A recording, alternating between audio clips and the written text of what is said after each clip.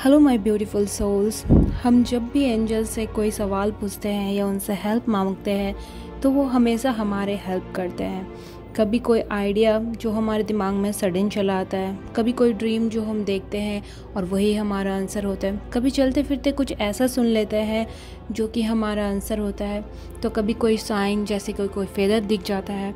But in सब में सबसे जो मोस्ट कॉमन साइन एंजल जिसके थ्रू हम लोगों से बात करते हैं, जिस सीक्वेंस के थ्रू वो हमसे जुड़ते हैं, वो है नंबर नंबर जिससे हम उनसे कनेक्ट होते हैं वो अपने आंसर हम तक पहुंचाते हैं हमारे क्वेश्चन का आंसर देते हैं हमारा हेल्प करते हैं।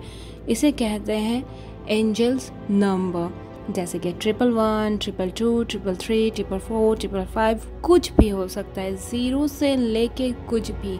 सो so, आज मैं आपको बताऊँगी अगर इस वक्त आपको हर तरफ़ हर जगह नंबर टू थ्री सेवन दिखाई दे रहा है सो इसका मतलब है आपको अब मेडिटेशन प्रैक्टिस करने की ज़रूरत है अपने लाइफ में। उम्मीद आपको समझ आया होगा। मिलती हूँ नेक्स्ट वीडियो में। थैंक यू सो मच वंदे मातरम।